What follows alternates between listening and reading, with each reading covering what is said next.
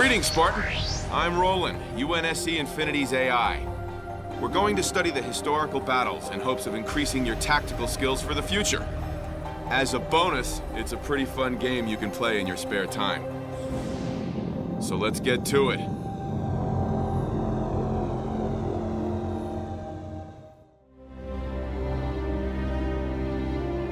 Loading up records for the Battle of Draetheus 5.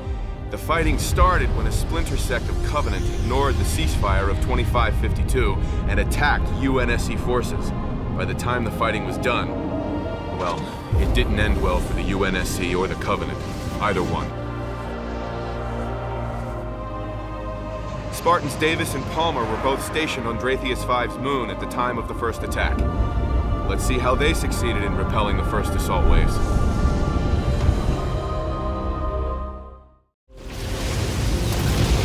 Spartan Davis continued fighting on the moon, Spartan Palmer and a handful of UNSC troops redeployed to the surface of Draetheus 5 to fend off the invaders there.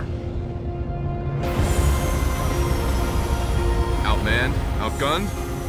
Spartan Palmer didn't see it as a problem. How about you?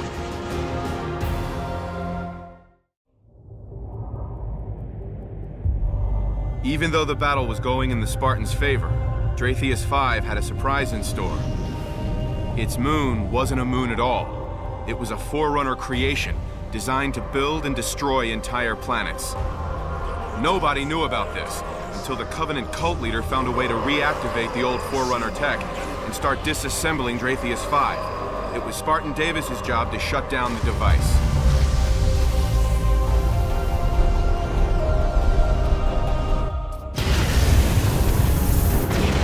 Although Spartan Davis deactivated the device, Draetheus 5 wasn't quite the safe and secure planet it used to be.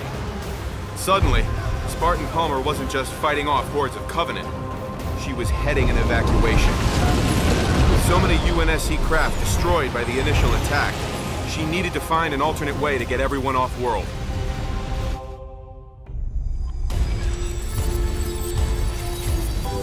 Spartan Davis sacrificed himself to save many lives on Draetheus 5.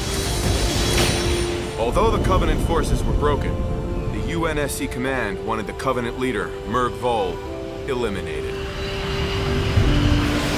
Spartan Palmer was tasked with returning to the moon to finish the job.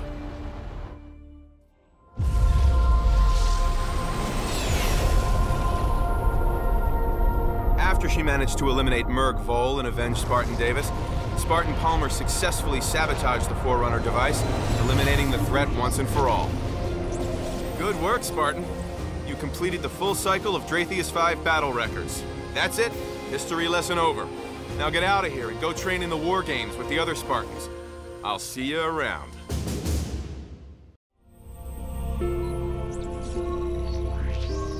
So, I killed Merg Vol and we all went home. Is that the official version these days? you ought to see what came next.